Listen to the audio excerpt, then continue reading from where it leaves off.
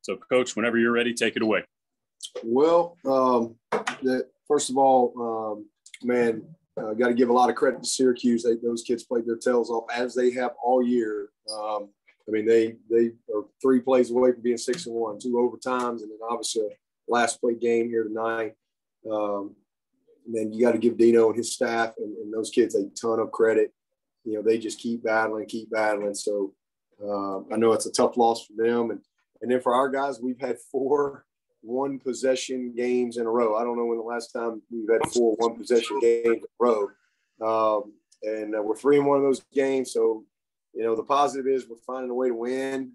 Um, but, you know, really making it hard on ourselves with, with so many, um, you know, just things that we control, you know, just misplays, um, uh, critical penalties. Uh, we come right out in the second half, we got a huge drive going. We snap the ball 20 yards over the field, and then we overcome it and we drop the ball. I mean, just just a lot of um, just critical mistakes. Uh, but you got to give these guys credit. They just they they battle. Our kids battle. They believe.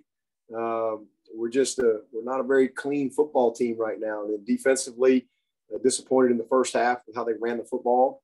Uh, obviously, had the two big plays that, that led to the first score in the run game, but we did a great job in the second half stopping the run. And um, you know, you got a uh, a nice lead there, uh, but uh, next thing you know, it's it's you get a third and twelve, you're off the field, huge penalty, late hit out of bounds. That changed the complexity of the game for most of the second half because they ended up they didn't score, but they put us on the two, and so we played on a very long field, and they played on a short field there for a good while. And uh, and then the third and fifteen, we got a corner comes out of coverage, and then fourth and they and they get it, and then fourth and seven, and then the big play over the top. So they really just made the one big play uh, in the second half, and it was a critical one.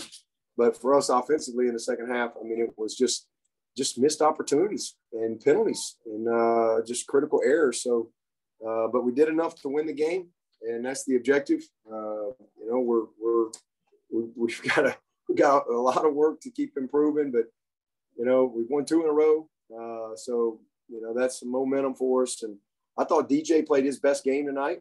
Uh, I thought he played really well. He put some some great uh, uh balls. It was several we should have made.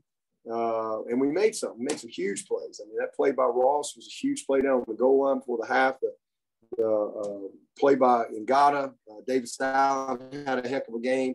Uh, you know, we did some a lot of good things in the run game, um, and uh, you know, Kobe had some nice plays. Moffett did some good things. So, you know, we're continuing to grow. Uh, we got a, a, mixed bag and who's playing. Seems like every week. You know, JoJo got his first start. Uh, he made a couple of nice plays. Um, you know, uh, Mason Trotter getting his first ever start at center. Uh, he doesn't know until right here, you know, that he's going to be playing. And uh, he's been out all year with a, with a broken hand. He just got the cast off, and obviously everybody's going to remember the snap. But uh, you know, I think he did a, a, pretty dang good job. That's a that's a tough front, a tough scheme with all the movement and all the things that they do. Um, and uh, but again, uh, just you know, we have 14 scholarship players that are unavailable right now. So uh, every week it just seems like we're we're finding a way. And uh, Nate Wiggins goes in there. He's got to make some plays. We we got Mario back this week. I thought he was excellent. He made some huge plays, some PBUs. But we, Booth is a pregame scratch. Uh, so it's just a, it's a, it's a. We got a lot of players that are out, and, uh, guys, you got to give these kids credit. You know, they're continuing to find a way and, and battle and uh, so I'm proud of them. Special teams, uh, obviously the fake punt was huge, but uh, Will Spiers has, has been excellent all year long. Uh, coverage was good. Uh, another big, big field goal by Potter two weeks in a row. we've won the turnover margin, and that's been the difference in the game. We've gotten points off of turnovers too. So hopefully that's a trend that we can continue to, to improve on. But again, four one possession games in a row. it's that's a that's a tough way to to to have to have to do it, but that's where we are right now. And uh, I'm just proud of them for, for fighting and scratching and clawing and finding a way to get the win. Um, I guess last time we were up here on a Friday night was in 17, and, and, and, and it was the other way. And I was a playoff team uh, that got beat up here. So it's a tough team, and uh, uh, just again got the objective done. Uh, glad we get an extra day of rest. Uh, we'll get back and regroup, and got another another all-in game next week uh, against a good Pitt team. We'll open the line to questions. Please identify your name and outlet upon asking your question. Hi, Coach. It's Trevor Gross from CUTigers.com. Uh, correct me if I'm wrong. Was it 2017 when when you ran the fake punt with Spiers um, that that was not successful? And um, have you just really been waiting to unleash that uh, at, a, at the right time this season? Obviously, he has the uh, actually, he has the quarterback background. We, we actually ran a fake punt on him last year and hit it. Uh, it was a it was a, a keep, um, a, a, little punter keep uh, that we ran, kind of a a punt option for him. And uh, so I think that's two years in a row we, have been successful on. But we, I think we, I think that was we were up here and had one that was unsuccessful. Uh, but uh, it was a big one tonight. You know, it was a big play for us. And again, we, we knew we had a big body, and uh, you know he made a great play, great throw, great great catch. Coach, um, I, I, think it was Davis Allen made the, the catch on that play, and, and he had a, a big night, especially in the first half. Um, obviously, he was ejected in the in the first quarter um, last week, and that was a big loss, or last game, and that was a big loss for you. But uh, how, how big was he tonight? Uh, Davis is Davis is one of the best players we have on this team. He's he's an unbelievable, you know, football player. He's he's a complete player. Uh, he's, he's incredibly committed uh, to our team he's just a he's a great worker. Uh, he's, he's really committed to and everything he does. I mean, Davis Allen is one of the most respected guys on this team, but he's a very good player, and uh, just a matter of time before you know he kind of gets it going. So it was a great. He was a, he was a huge weapon. He should have had two more big plays. You know, we had the, the TFL uh, little little RPO to him uh, behind the line of scrimmage there, and, and, we just don't block the guy. I mean, we just completely missed the block. I mean, that's going to go a ways.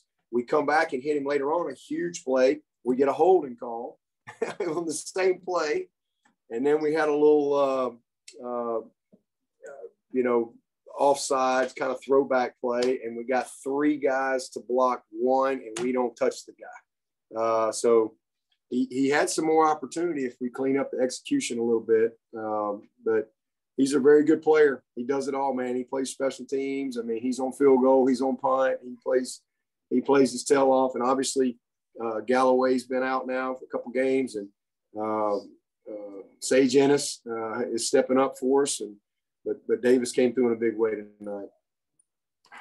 Dabo, this is Matt Connolly with ClemsonSports.com. I know you said one of the big keys for the game was just containing Tucker and Shrader. How did you feel like, other than maybe a couple of big plays that you guys did in that area? Yeah, uh, you know, I don't. Where is he at? Uh, well, he averaged 0.9.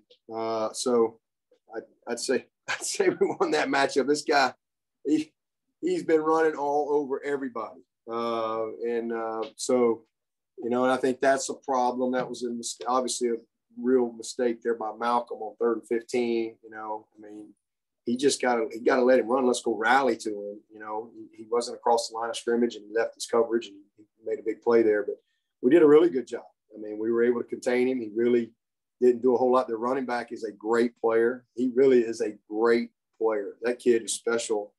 And uh, they hurt us in the first half. I mean, for sure. Uh, we, we, we were supposed to box one on the, on the, early ones, and we didn't, we didn't, we didn't have a box player. And then uh, we didn't fit it right one time with our backer. Um, and if you don't against that guy, man, they're going to find it. And that that number five they got, they do a great job on their little search play there in the line of scrimmage. And we worked hard, um, you know, all week, and again made some cor- corrections and, and, did a much better job in the second half. Uh, you know, outside of the again critical penalties, the third and fifteen, the fourth and seven, and the big play.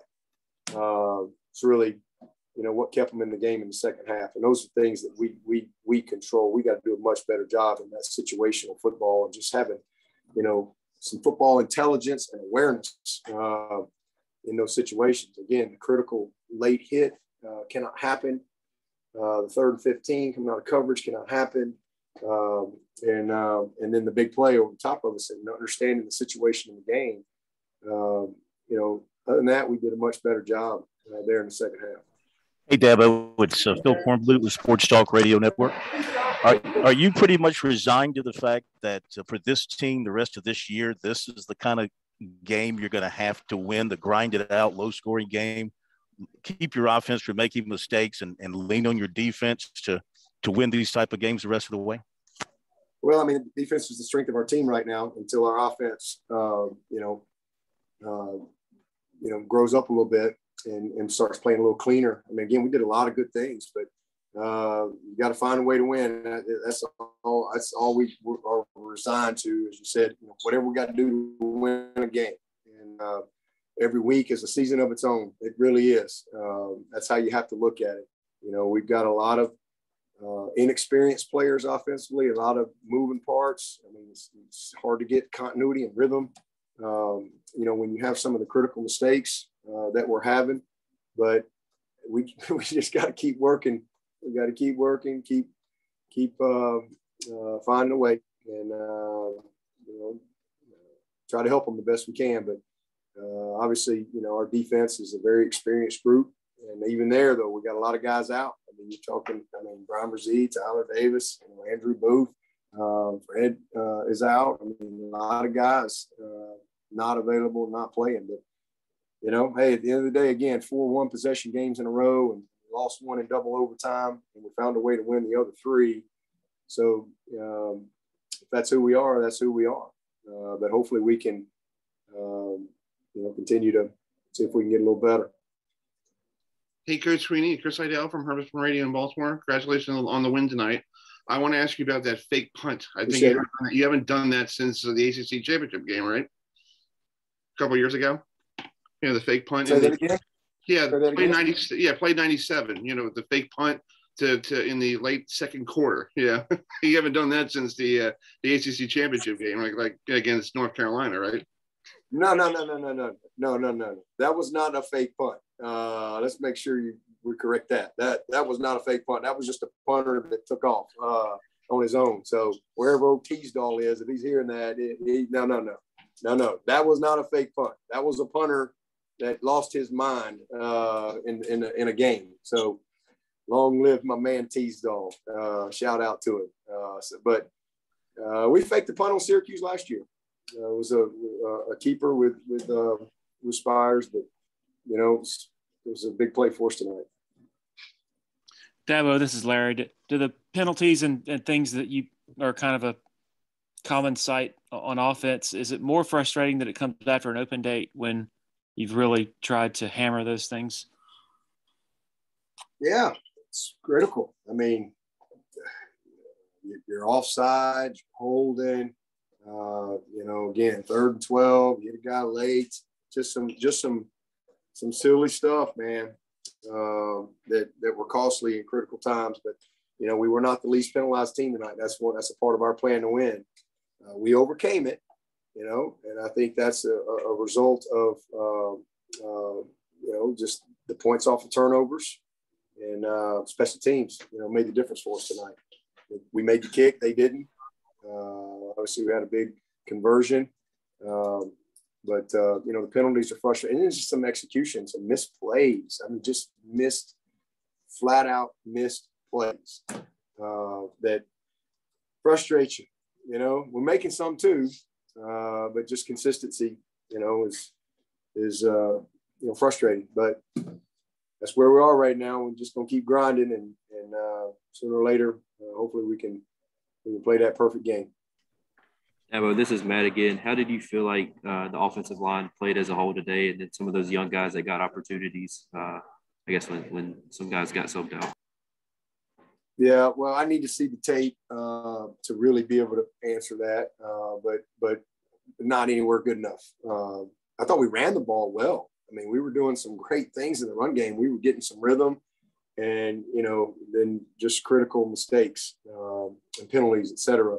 You know, again, the opening drive, we got a chance to really go and, uh, do some good things, and we're we're moving it. And there goes the snap. So critical penalties uh, and and some sacks. You know, where guys just got beat. Uh, so you know, we got a true freshman in there who's who's a work in progress. Um, so, you know, we're just again Rayburn, you know, out. Uh, COVID pro- first COVID protocol situation we've had since fall camp. Um, so you know, just when you feel like you've got some some rhythm and some continuity, uh, he's out, and uh, uh, you know Putnam uh, really didn't practice. Uh, you know, he didn't practice at all on the open date, and he just got really going uh, Wednesday afternoon or whatever Tuesday afternoon, our, our Wednesday Thursday type practice um, with his foot. he had some mistakes earlier, but you know we're just nowhere near nowhere near what we what we're capable of doing. Uh, but again, you know, we made some critical plays too, and uh, we found a way to win. So we just got to got to keep grinding and and uh, make it work. Coach, you, um, Trevor again. You said that uh, Andrew Booth was a pregame uh, scratch. Can you elaborate on his status and um, how do you feel like Sheridan Jones uh, stepped up in, in his place? He did some, you know, he did all right. He had the one, you know, critical. I think it was not been a third and ten. Uh, got beat on the dig route, but uh, he did okay. I thought Nate uh, did some good things.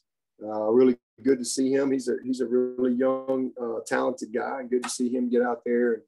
It's the most significant time, critical playing time he's had in, in you know the season. Um, uh, good to get Malcolm back going. Obviously, he had a critical mistake, but I thought Mario. I mean, getting Mario back I mean, it's huge. Uh, he's been out, and uh, you know he had four big PBUs, almost had a huge pick.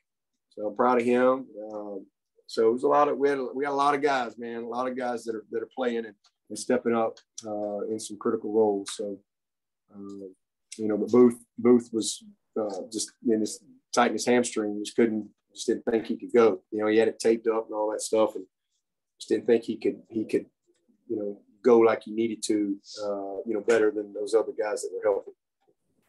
Hey, Dabo, this is uh, Davis Potter from the Clemson Insider. On that fake punt, did you feel like you guys just needed to try to hold momentum at that point, or was there something in the way Syracuse lined up that played into that call? I just it's it's something I just felt like that you know something we worked on you know all year. Uh, we've done some sky punts out of that, and I just felt like that we had it set up, and uh, it was just a matter of uh, you know, making the right type of throw. And, uh, and he did. And then Davis went up and, and finished the play.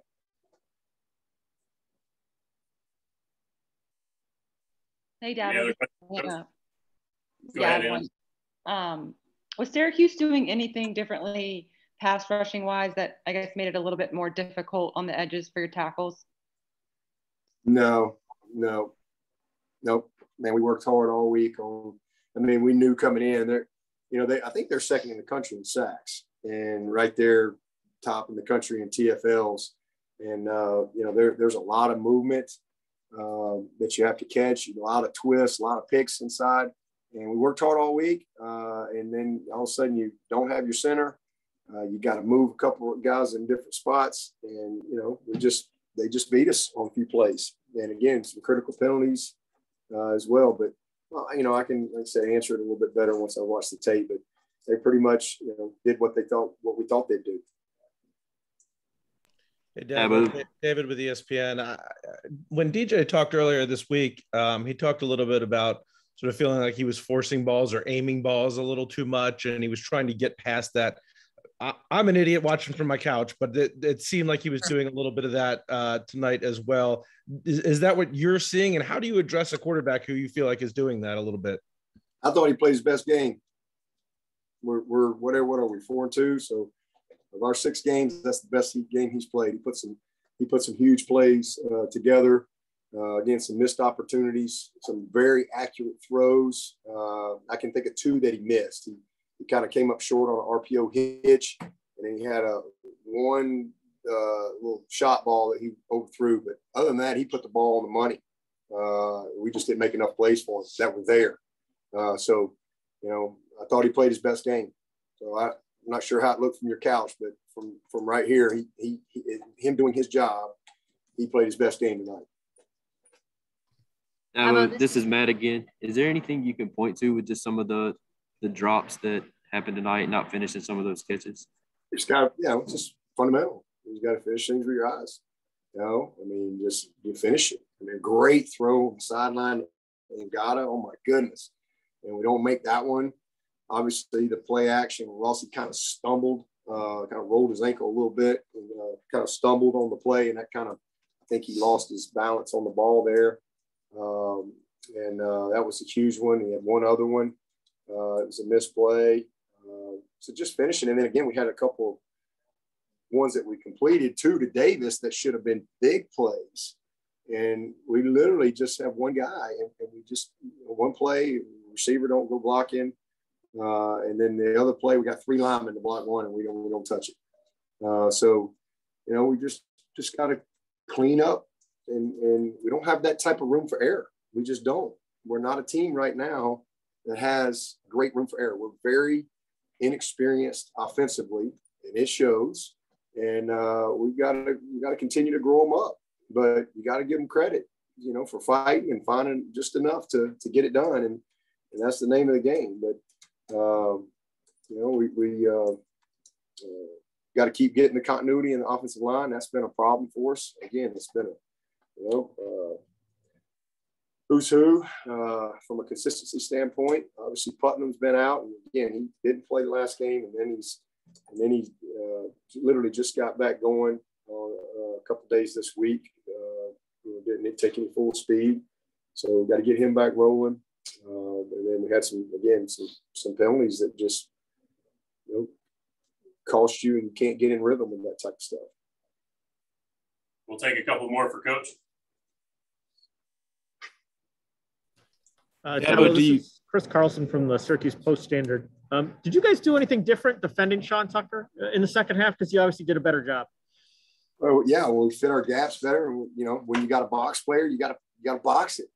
You know, when you don't, we knew that coming in here. If you don't, if you don't do your job against this bunch, they're going to find like the first one. We don't box it with our end, and then the other big run in the first half, we, we don't fit the right gap.